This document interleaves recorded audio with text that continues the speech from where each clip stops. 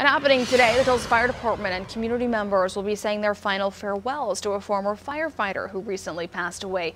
87-year-old Benny Arney died last week here in Tulsa. Arney served with the Tulsa Fire Department for over 20 years before retiring as captain. His hobbies included hunting, fishing, boating. Services will be held later this afternoon at the Floral Haven Chapel in Broken Arrow near 61st and 129th East Avenue, and that is at 3 o'clock.